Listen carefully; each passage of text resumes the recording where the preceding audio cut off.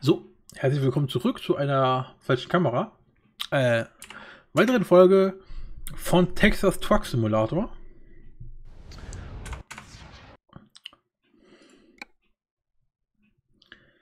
Colorado. So.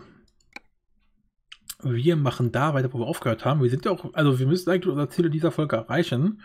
Sind ja bloß noch so 200 bis 300 Meilen. Also Katzensprung halt so. Ne? Meine Rede. Let's go. Apropos let's go. So.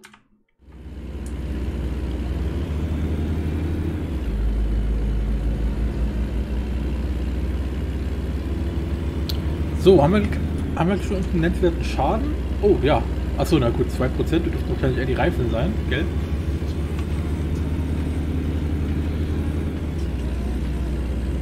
Zumindest naheliegend, wenn sowohl der LKW als auch der Auflieger 2% haben, da sind es in der Regel immer die Reifen. So, hier von 75, okay. Ja, 220 Meilen. Sollten wir locker in der Folge schaffen. Unsere Statuswerte sehen auch alle noch gut aus. Tank fast voll. Bett ist auch nicht, nicht mal zur Hälfte gefüllt.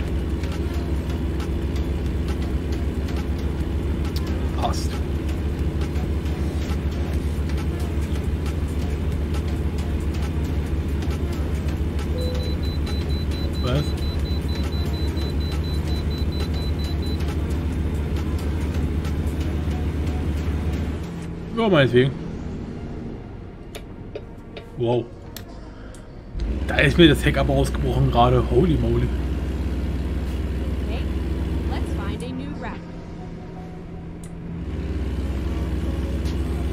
Mann, fährt er langsam hier. Ist ja nicht so, als wenn man hier nur 15 km/h darf. Was?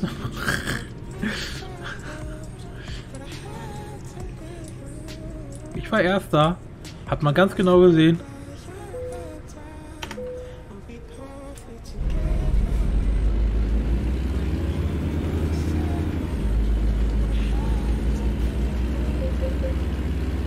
Vor allem, ganz ehrlich, wenn die hier, wenn die hier meckern, dass man hier 80.000 Pfund fährt, dann müsst ihr mal richtig hingucken, ja. Wir haben hier vier Zugmaschinen. Also, wenn das nicht für 80.000 Pfund reicht, dann weiß ich aber auch nicht.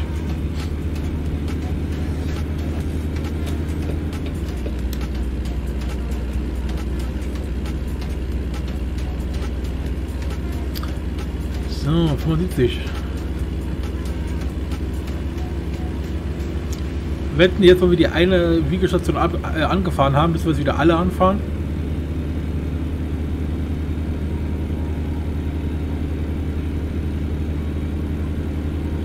Boah, Alter, guck euch diesen Horizont da hinten an. Alter, sieht das geil aus.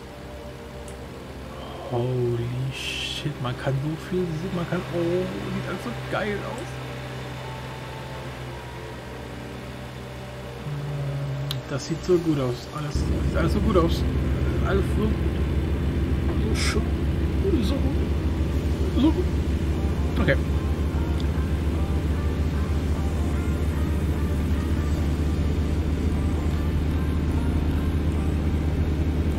Ja, ja.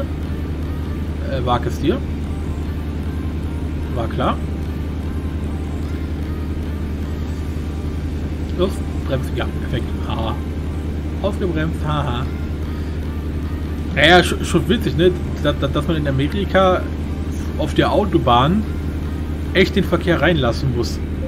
Also ich weiß immer noch nicht, ob es wirklich so ist. Aber wenn ich dem Glauben schenke, ich fahre viel zu schnell. Ähm, ist es ja so, dass man tatsächlich auf der Autobahn, also auf dem Freeway, ähm, dass man da tatsächlich die Autos reinlassen muss. Dass man also seine, seine Geschwindigkeit den äh, einbiegenden Fahrzeugen anpassen muss, sodass die sich wie ein Reißverschluss einordnen können. Das ist schon krass.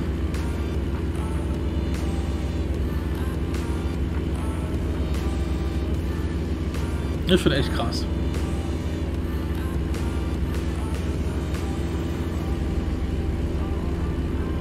Vor allem, weil der Freeway, äh, der Freeway ja auch extra Freeway heißt, weil man. Also, wir sind noch, noch 65. Keep right. and Ähm.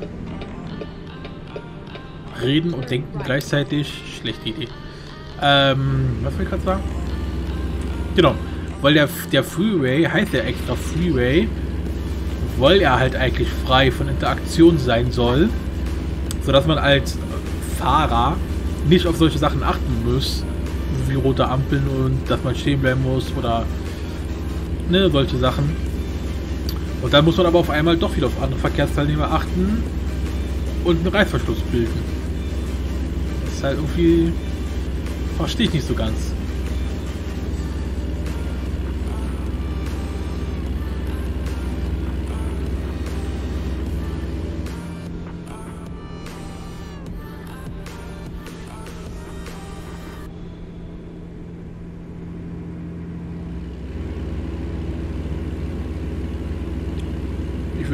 65 fahren.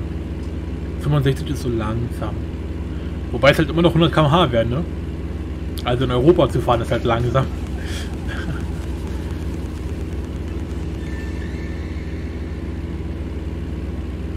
oh, 55, okay.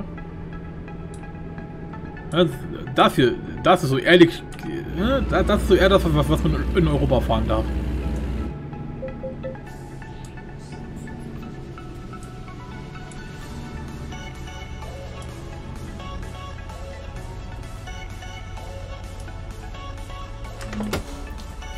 Gucken, 80 km/h. Ja, genau, 80 km/h sind 50 mph sogar nur.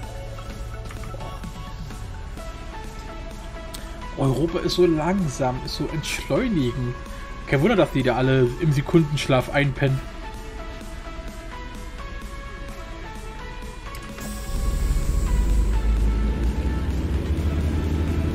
Ja. Bei ATS, wenn du, wenn du da dann, da mit 100 mph über die Autobahn rast, ja, dann pumpt sich ja der Adrenalin quasi in dein Hirn. Ja, siehste Sache. Kaum, kaum haben wir einmal so, so ein Ding angenommen, sollen wir jetzt in jedes reinfahren. Nee. Kannst du aber schon vergessen. Äh, ja genau, aber wie gesagt, hier. Ich, ich stell mal, mal, vor, hier, ne, die so, so, die ganze Zeit so mit 50 mph fahren, also das hier. Das wäre so Europa-Style. Da pennst du rein. Ich meine, gut, zumindest schon um die Gegend zu bewundern. Keine Frage. Oh, die by the way besonders cool hier aussieht. Wow. Hätte ich ja echt nicht gedacht, dass Texas so grün ist. Ich hätte halt wirklich, wirklich gedacht, hier ist komplett, je, je weiter man in Texas reinkommt, oder anders gesagt, geografisch gesehen, je weiter man Richtung Süden kommt, ups, was habe ich getan? Äh, desto, desto grauer wird es. Aber actually ist es ja eigentlich so, dass der, also es gibt halt irgendwo einen Äquator. Ich weiß nicht, wo der Äquator lang geht. Aber das dürfte halt hier so in dem Bereich irgendwo sein. Ne? Das heißt, das ganze Gebiet hier ist halt besonders warm und trocken. Und weil wir hier aber immer, immer weiter Richtung Süden kommen, kommen wir wieder in, in, in. Wie nennt man das? Äh, feuchteres Gebiet, frischeres Gebiet, naturfreundlicheres Gebiet, keine Ahnung. Ja, auf jeden Fall sieht man halt, es wird hier wieder grüner. Weil, ne, direkt da, wo wir reingekommen sind in Texas, da war es ja fast nur Steppe. Und auch, wenn man so den, den Süden von, von äh, Amerika betrachtet, also jetzt vor, vor allen Dingen von, von, also halt den Süden von Nordamerika, da hat man da halt Steppe. Während im Norden von Nordamerika keine Steppe ist. Und im Südamerika genau andersrum. Da ist es halt so, dass im Süden von Südamerika alles grün ist und im Norden von Südamerika ist halt Steppe. Ja. Wow. Ja, äh.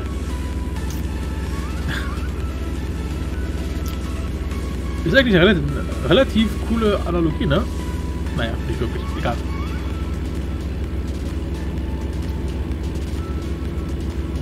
Ja, da merkt man halt, wie groß halt Amerika ist. Ne? Dieser Kontinent, der erschreckt sich halt wirklich äh, vertikal gesehen, fast über, die, über den gesamten Globus. Und dementsprechend ist natürlich die Mitte davon halt genau am Äquator.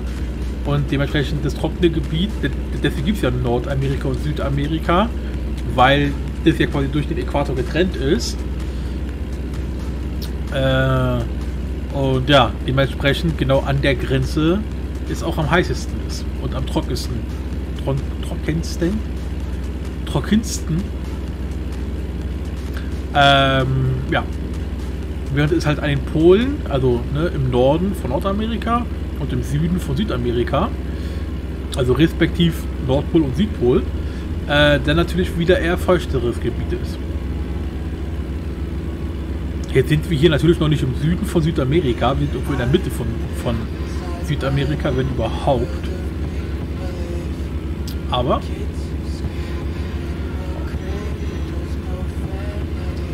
es wird hier auf jeden Fall schon wieder grüner. Hier gibt es sogar schon wieder Palmen. Lol.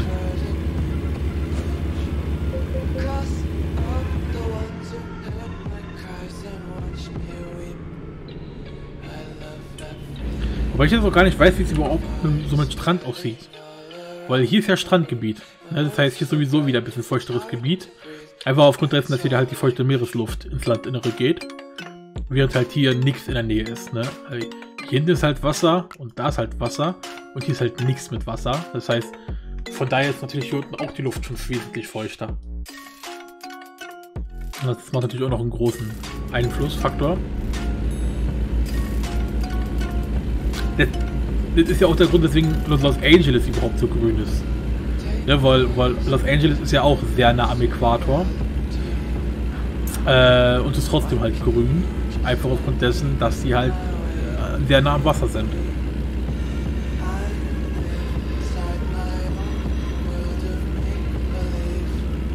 Weil wenn die in, im, äh, in Los Angeles nicht dieses Wasser hätten, die Hitze dort ist halt, halt einfach erdrückend. Ja? Das heißt, bei, bei der Hitze würde eigentlich nichts wachsen. Aber du hast halt dort diese extrem feuchte Luft, weswegen ich persönlich auch, auch in, äh, in Los Angeles wahrscheinlich nicht überleben würde. Weil es ist halt so schwül. Du hast halt warme, feuchte Luft. Und nur deswegen kann da halt auch was wachsen. Ne? Oder so viel wachsen, wie da halt wächst. Ach, schöne Brücken hier. Schöne Gegend hier. Wow, ja, man merkt richtig, wir sind wieder am Strandgebiet. Hier ist ja richtig grün alles. Nice. Und wir fahren ein bisschen zu schnell und wir, fahren hier quer über alle Spuren. Alter, was ist los hier?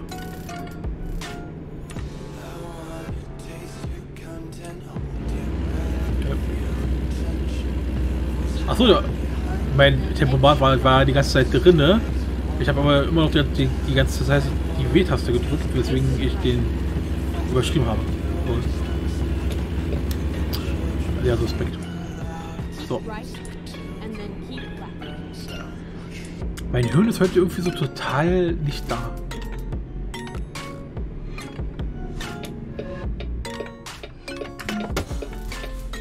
Oh. Hier links ist ein relativ schönes Bild wo ich jetzt nicht weiß, ob das so YouTube-ready ist.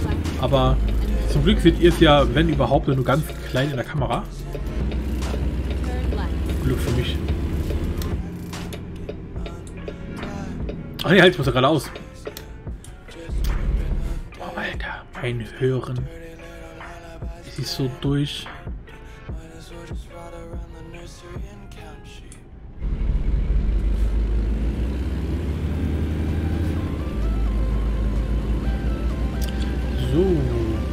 Vier Meilen. Interessant. Cool.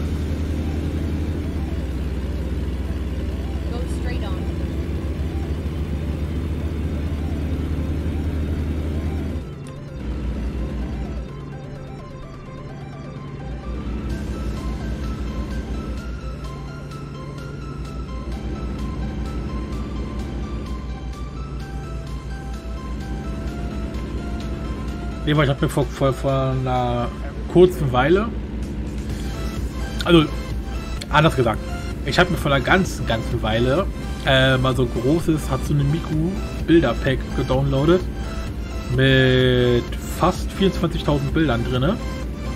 Also irgendwie 23.600. Ähm, okay, wir können fahren. Sehr gut. Oh, wobei es gerade runtergegangen ist. Lol. Ähm, ja, und dieses, dieses Pack habe ich jetzt letztens mit meinem Wallpaper-Ordner fusioniert, also auch mit rein kopiert in den Wallpaper-Ordner. Das heißt, ich habe jetzt ganz, ganz viele neue Wallpaper, deshalb der Gründe. Da waren aber auch diverse, natürlich bei, bei, bei, bei 24.000 Bildern, völlig klar, waren da auch diverse Bilder mit dabei, die jetzt nicht so jugendfrei waren, um es jetzt mal ganz vorsichtig auszudrücken. Ja. Diese sogenannte Not Safe for Work Kategorie war da ganz stark vertreten. Und deswegen muss ich jetzt erstmal ganz schön sortieren äh, und diverse Bilder. Wie gesagt, ich habe ja den, den, den Bilderordner nicht in meinen Wallpaper-Ordner verschoben, sondern kopiert. Damit ich dann nämlich aus der Kopie heraus in dem Wallpaper-Ordner ähm, die ganzen wie sagt man es am günstigsten? Ähm, ja. Nennen wir es einfach die, diesen ganzen expliziten Inhalt äh, rausfiltern konnte, also löschen konnte. Ähm, aber ich weiß das jetzt natürlich nicht, ob ich wirklich alles gefunden habe, weil bei 24.000 Bilder durchsortieren, dann wirst du Möhre im Kopf. Von daher habe ich wahrscheinlich nicht alles erwischt. Aber, aber auf jeden Fall das Schlimmste. Von daher. Sollte man hier im, im Rahmen eines Let's Plays nichts sehen, was nicht gut ist zu sehen auf YouTube. Aber es gibt halt trotzdem viele neue Sachen, die halt auch ein bisschen schöner anzusehen sind, um es mal so zu, ne, zu äh, sagen. Schöne Gegend hier. Wow. Go straight on. Sowas habe ich ja gern. Richtig Industriegebiet. Wow.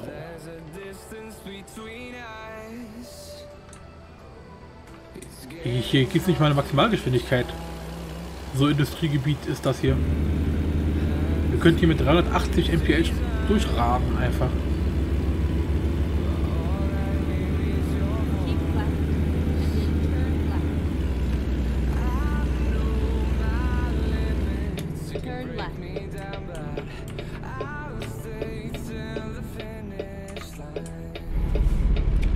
Schnell in die Kurve gegangen. Hört mal auf. Mal.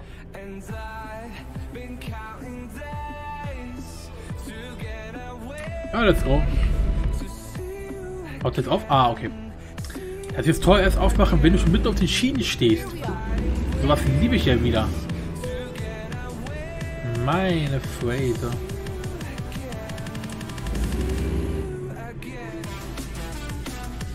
Vor allem, was witzig ist, guck, guck mal.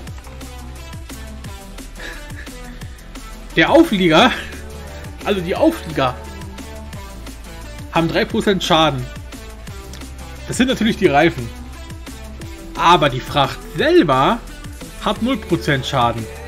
Aber ich dachte, die Auflieger, also die LKWs, sind die Fracht. Äh, der? Der? Weil es sind doch die Reifen von den LKWs. Wer will denn bitte schon LKWs kaufen, wo die Reifen schon zu 3% runtergefahren sind? Also das ist doch Schaden an den LKWs. Und, also, der ist broken. Wenn ich jetzt die LKWs komplett gegen die Wand fahre, habe ich jetzt 100% Schaden bei, den, äh, bei dem Auflieger oder 100% Schaden bei der Fracht? Naja. Naja. Ich meine, ETS, ATS, das Spiel, die Engine. Und es ist dann natürlich immer gleich. Schaden, der entsteht, ist immer generell Aufliegerschaden. Und je nachdem, was für ein Schaden entstanden ist, wird auch der Fracht etwas zu be berechnet. Aber es gibt ja keine Fracht. Ne? Es, gibt, es gibt ja laut der Physik-Engine, laut der Berechnung, gibt es ja bloß den Auflieger. Ne? Äh, das heißt, die, dieser, die Fracht ist nur ein Wert, den man hier jetzt sieht.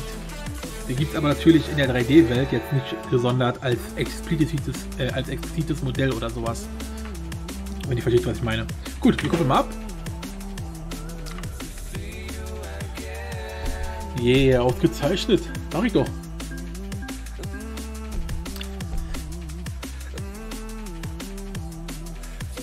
Oh, gerade mal halbes Level. Oh ja, immerhin besser als gar nichts. So. Dann müssten wir jetzt eigentlich hier bei Schnellaufträge hier ein paar mehr haben, ne? Naja, ein paar. Guck, guck, wir mal, was es von hier so gibt. Von Texas nach Utah. Mhm, mhm, mhm. Aber wie gesagt, ich würde gerne ein bisschen, ein bisschen in Texas bleiben. Also suchen wir mal raus von Texas nach Texas. Texas, Texas, da.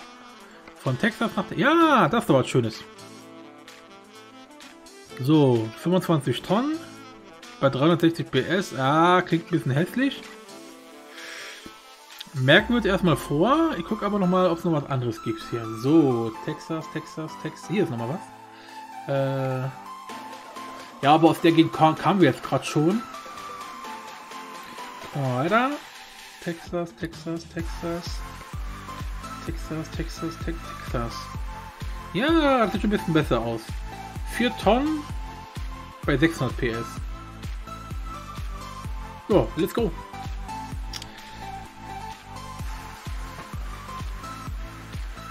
Sieht man das überhaupt nicht, ne? Ne. Man, man kann es nicht mal erahnen.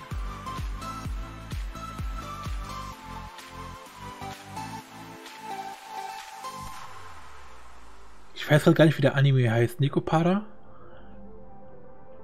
Glaube ja. So, was haben wir eigentlich drauf? Wir haben einen kleinen Auflieger drauf. Okay, ist ja süß. Also sehr wendig. Sehr schön. Oh, zieht, zieht, zieht natürlich auch ganz schön an, klar. Sie sehen, ja gerade mal 4 Tonnen. Äh, woraus jetzt überhaupt? Links, rechts? Ach da, okay.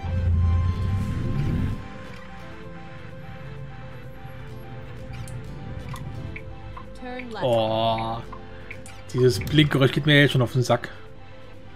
Okay, wir fahren ohne Blinker.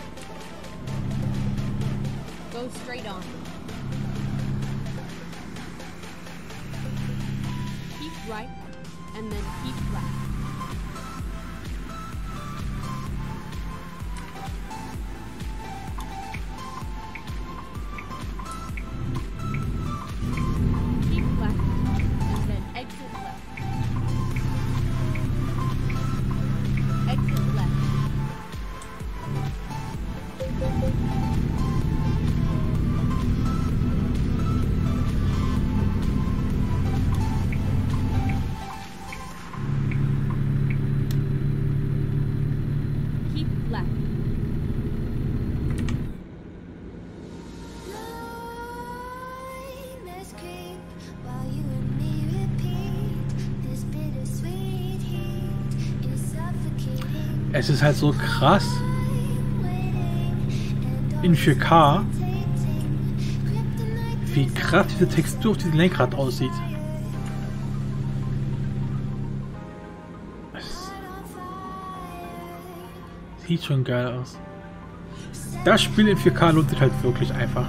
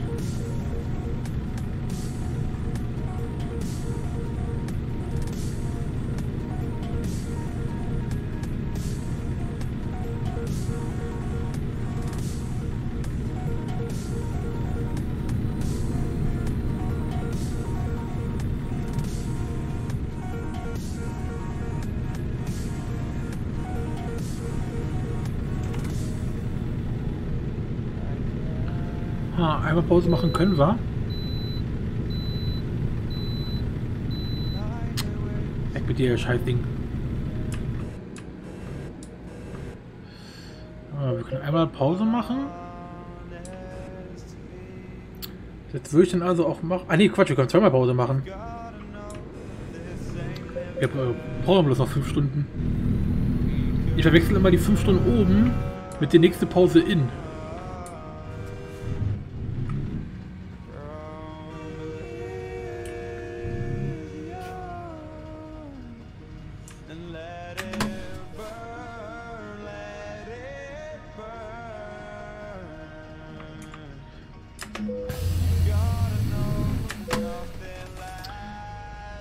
Heißt, wir können nämlich jetzt gleich mal irgendwo pennen gehen. Frage wäre natürlich nur wo. Da müssen wir hier nicht in der Nacht so irgendwie rumfahren, rumgandeln. Aber mal, hier hinten können wir gleich Pause machen. Ah gut, wir haben gerade genau einen Platz überfahren. Wow.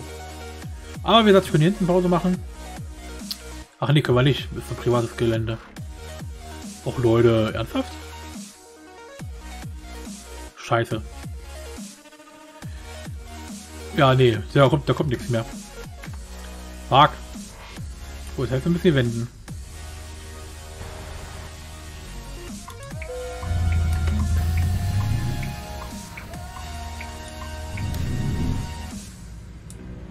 Achso, wir können hier gar nicht wenden, weil da so, so, so eine Xe sind. Ich wollte hier auf der kleinen Fläche, wollte ich hier ein bisschen rumwenden. Aber es geht ja nicht. Ah, das ist halt das Blöde. Gut, das heißt, wir hätten, wir, wir hätten doch hier lang fahren müssen. Wir hatten gerade noch grün gehabt, habe ich genau gesehen. So, können wir nämlich hier drauf wenden.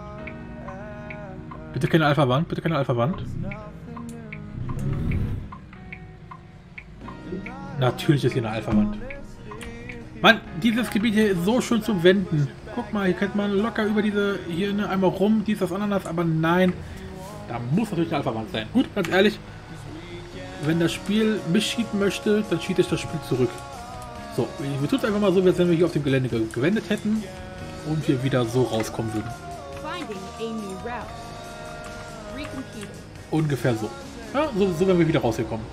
Gut, der Auflieger wäre noch ein bisschen schräger vielleicht, aber der LKW ungefähr so. So.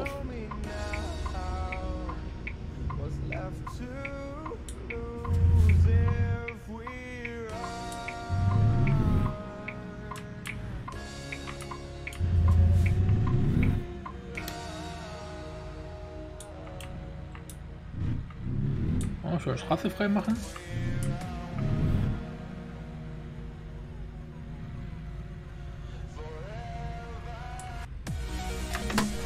So.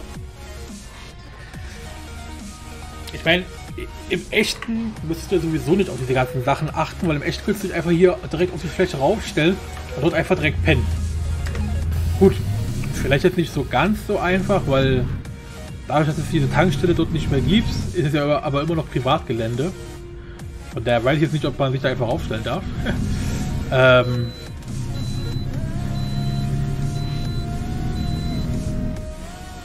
aber ne, so vom Technischen kann, könnte man sich da halt locker am Straßenrand hinstellen äh, und dann einfach Augen zu.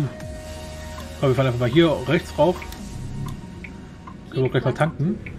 Müssen wir eigentlich nicht unbedingt, aber hey. Wenn wir schon mal hier sind. Let's go.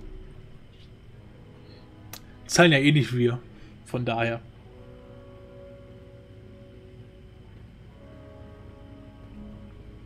Und noch ein Zug. Guckt euch diesen Zug an. Er sieht so wunderschön aus. Oh, war ganz, ganz, ganz, ganz, ganz ultra kurzer Zug. Ich habe übrigens mal geguckt, wegen der Mod, ähm, diese etwas längere Züge implementiert. Da gibt es wohl auch ein paar, die das wohl machen. Aber die wirkten alle nicht so vielversprechend. So können wir jetzt hier überhaupt parken. Hier direkt daneben, oder? Ah, wir waren so hier. Äh, die wirkten alle nicht so, so, so vielversprechend. Von daher bin ich immer noch ein bisschen auf der Suche nach einer schönen Mod, die wirklich einfach relativ vanilla die Züge einfach verlängert, ohne jetzt über viel daran zu ändern oder irgendwelche Sachen vorauszusetzen oder das Spiel zu verändern oder ich habe auch eine Mod gefunden, die das zwar relativ gut macht, aber du müsstest bei jeder Version, wenn ich das Spiel update, müsste ich auch diese Mod updaten und äh, ja, also ich habe da nichts gefunden, was mich glücklich macht. Und es pisst natürlich. Und es ist immer noch Nacht. Weißt du was? Nee, nochmal pennen gehen schaffen wir nicht.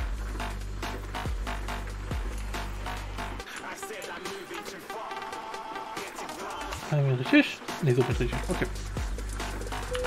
Gut, fahren wir ein bisschen im Regen. Licht habe ich gesagt. So, jetzt mal hier rück- rückwärts rausgondeln.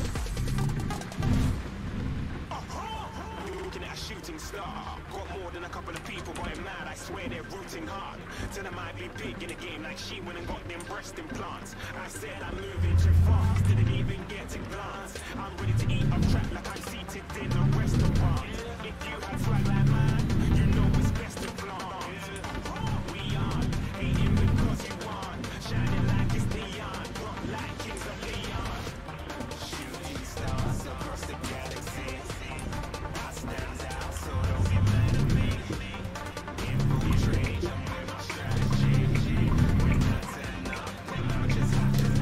Hä, war gerade ein LKW?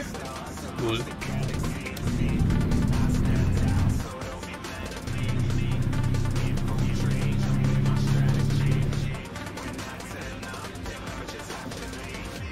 Los, fahrt, fahrt, fahrt, fahrt, fahrt, fahrt, warum fahrt ihr denn nicht? Oh Leute.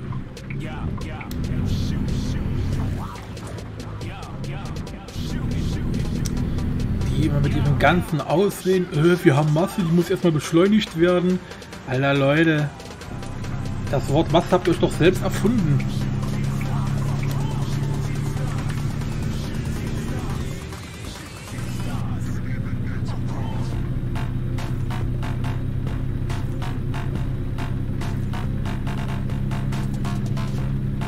In meiner Welt gibt es nur zwei Sachen. Nitro und Flügel. So. Hätte du das mal erklärt. Eigentlich wollte ich gleich Pause machen, ne? Also Folgenpause. Beim Schlafen gehen. Gut, machen wir was anderes. Stellen wir uns hier wunderschön provokant auf diese wunderschöne Brücke drauf. Am höchsten Punkt. Also ungefähr hier auf die graue Fläche. So. Voila. Und machen einfach hier Pause. Hashtag läuft doch. Das wäre gerade wieder Katastrophe. Erst Parkplatz suchen und dann werden wir gefunden. Äh, naja, naja, naja, naja. Reden wir nicht länger drüber. Katastrophe bleibt Katastrophe. Von daher, bis dann.